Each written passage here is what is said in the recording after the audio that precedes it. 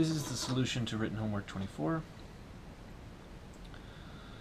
Okay, so then fill out this table. Okay, so the discriminant here, remember the discriminant formula is that the discriminant is b squared minus 4ac.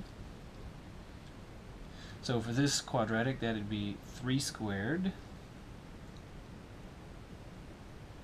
minus 4 times 1 times negative 10.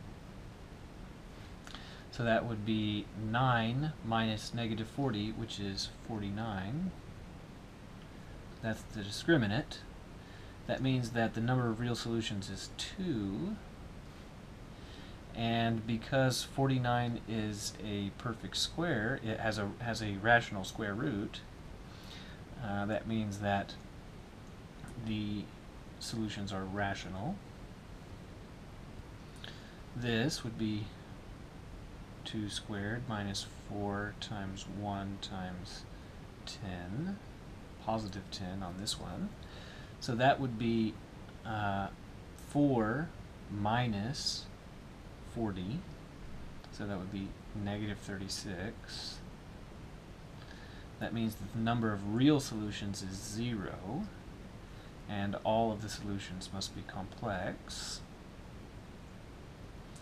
And this is b squared, so 4 squared minus 4 times 1 times negative 21. Okay, so that's um, that's 16, and then that'll be plus because of that negative 21. So 16 plus 84 16 plus 84 is 100.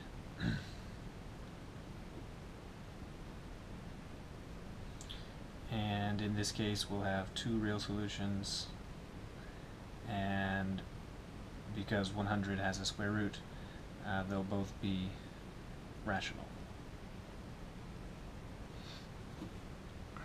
Okay, so now use the quadratic formula to factor the following quadratic. Okay. So we'll use the quadratic formula with A is 3, B is negative 5, and C is negative 6. So the solutions are uh, negative, negative 5 plus or minus the square root of negative 5 squared minus 4 times 3 times negative 6. All of this divided by 2 times 3. so carrying out that arithmetic, that'd be 5 plus or minus square root of, well, that'd be 25 and then plus 4 times 3 is 12 times 6 is 72 and this divided by 6 so x is uh, 5 plus or minus the square root of 97 6. So many students don't like it when the solutions end up looking like that, but these are perfectly legitimate numbers. Uh, so the two different solutions are, one of them is 5 minus the square root of 97 divided by 6. The other is uh, x is 5 plus the square root of 97 over 6. And then that means that the factorization of 3x squared minus 5x minus 6 is, well, one of the factors one of the factors must be x minus that one.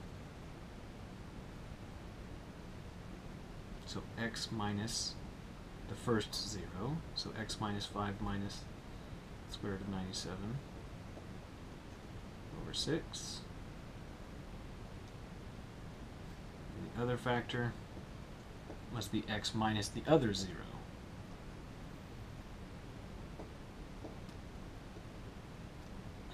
Uh, okay, I'm not sure how that there. It's 5 plus square root 97 over 6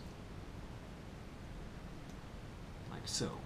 So that's because uh, here's a 0. The fact that this is a 0 means that x minus that is a factor. And here's another 0. And the fact that it's a 0 means that x minus that must also be a factor. and now finally, this is almost right. Almost right, except one thing is missing. If you were to multiply this out, as it is currently written, then you'd have this x times that x, and there'd be 1x squared. But here we need 3. So, to finish the answer, this 3 goes here. If this had been a 10, a 10 would go there, a negative 8, a negative 8 would go there, a banana, a banana would go there.